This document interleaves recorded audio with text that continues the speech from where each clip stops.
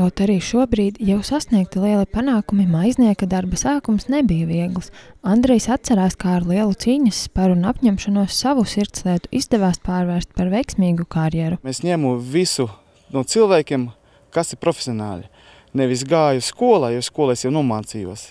Es sapratu, ka tomēr praksa ir vislabākā lieta. Tāpat arī gāju pie savas vecmāmas septimaizi. Es ar viņu nocepu seši gadi, un kad viņa pateica, ka tā ir mana marka, Tad es sapratu, ka mans maize sanāk. Un tā es sāku cept maizīte priekš vietējiem cilvēkiem. Nu, man tie bija kaimiņi, pēc tam tas bija Lubānas iedzīvotāji. Es saku vest uz trim veikaliņam maizīti, ar riteni, ar mugursomu. Jaunkalēja maize tiek cepta pēc senām tradīcijām. Tajā nav rauga un kā firmas zīme uzskatāmas kļavu lapas, kas maizē sniedz atšķirīgu izskatu un kurās tā nepiedeg. Tradicionāla maize cept ir vajadzīgas divas dienas. Es par maizniekam neesmu mācījies nekur kā pareizi un cept maizi ar augu es nemāku.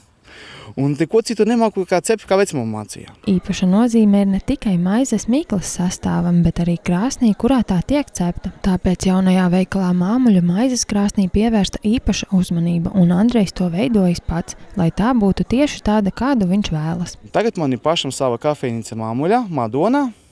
Tas ir vai 15 gadu atpakaļ. Tas ir bija noticis, noticis ka es iemīlēju to māmuļu. Tagad man ir nosaukums arī savai kafejnīcai veikalam un arī maizniecei māmuļā.